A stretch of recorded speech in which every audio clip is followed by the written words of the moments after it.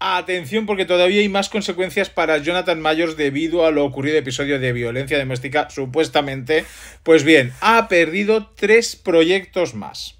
En primer lugar iba a participar en la adaptación cinematográfica del libro de Walter Mosley, The Man in My Basement. Bueno, pues eso fuera. Después también ha perdido una campaña publicitaria de los Texas Rangers para la Major League de Béisbol. Ya sabéis que estas cosas pagan una pasta y una película de la leyenda del jazz Otis Redding. Bien.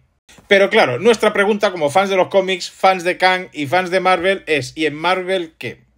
Pues bien, según han reportado varios medios, como por ejemplo Deadline, se sabe que no ha habido ninguna conversación, o eso dicen, al respecto de Disney Marvel con Jonathan Majors. Parece ser que estarían muy, pero que muy expectantes del juicio de la primera semana de mayo.